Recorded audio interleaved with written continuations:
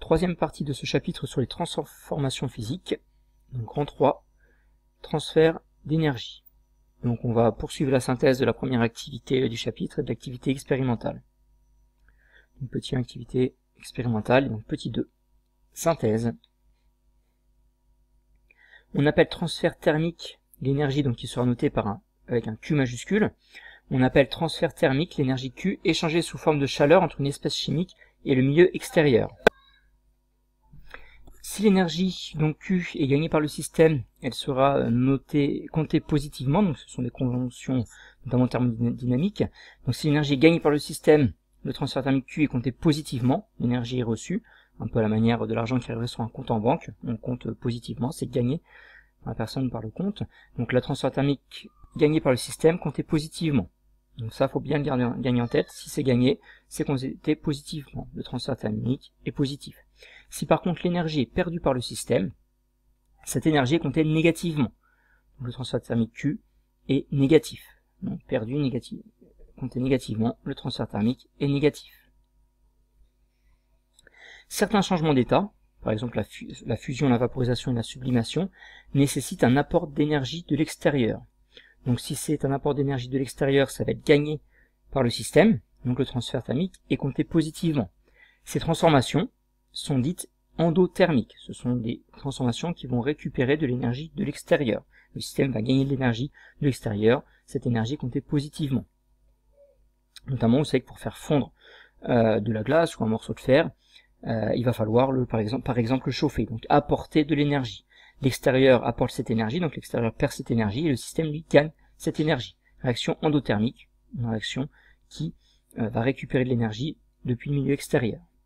Par contre, certains changements d'état, donc les trois restants, la solidification, la liquéfaction et la condensation, eux vont libérer de l'énergie vers l'extérieur. On dit que ce sont des transformations exothermiques. Donc ces changements d'état, solidification, liquéfaction, condensation, on l'a vu hein, dans l'activité sur le réfrigérateur, sont des transformations exothermiques. Ces deux termes ont été vus dans l'activité introductrice de ce chapitre. Donc deux termes à connaître pour deux catégories de réactions endothermique et exothermique. Donc par exemple, euh, les réactions donc de fusion ou de vaporisation sont des réactions endothermiques. Elles nécessitent de l'énergie.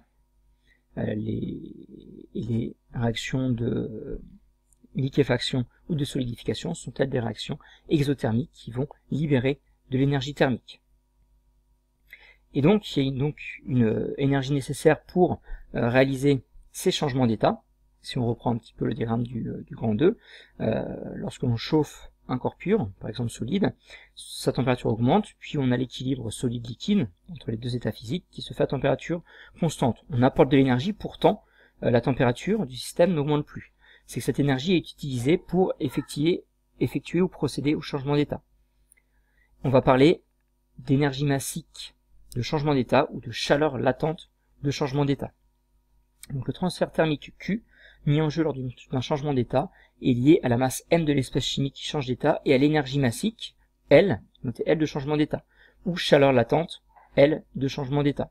Latente, c'est la propriété de quelque chose qui est, qui est caché. Donc l'énergie thermique qu'il va falloir euh, fournir ou qui va être récupérée au cours d'un changement d'état est proportionnelle à la masse du corps pur qui change d'état par le produit d'une caractéristique propre à ce corps pur, qui est la chaleur latente de changement d'état, ou énergie massique de changement d'état. Comme toutes les énergies, le transfert thermique s'exprime en joules, J majuscule, la masse en kilogrammes, et donc la chaleur latente, de elle ou l'énergie massique de changement d'état, s'exprime en joules par kilogramme.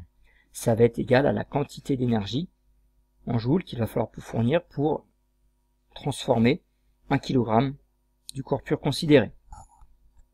Vous pouvez donc noter cette définition et cette relation. Le transfert thermique est proportionnel à la masse du corps pur que change, qui va changer d'état fois une caractéristique de ce corps pur qu'on appelle l'énergie massique ou la chaleur latente L de changement d'état. Enfin, pour illustrer le fait que cette chaleur latente euh, est caractéristique du corps pur, on a ici quelques exemples. La chaleur latente de fusion du dioxygène est de 1,4 10 puissance 4 joules par kilogramme. Ça veut dire que pour euh, faire fondre 1 kg de dioxygène, il faudra apporter 1,4 10 puissance 4 joules. On voit que la charge latente de fusion de l'eau est de 3,3 10 puissance 5 joules par kilogramme. Il faudra donc beaucoup plus d'énergie pour faire fondre 1 kg d'eau que pour faire fondre 1 kg de dioxygène. Donc on a quelques exemples ici de chaleur latente, de fusion, de vaporisation, qui sont des caractéristiques propres au corps pur considéré. Donc pour conclure sur ce grand 3, vous devez retenir euh, la convention de signe des transferts thermiques Q. Si l'énergie est gagnée, on compte positivement du point de vue du système. Si c'est perdu, c'est compté négativement. Vous devez savoir que certaines transformations sont endothermiques.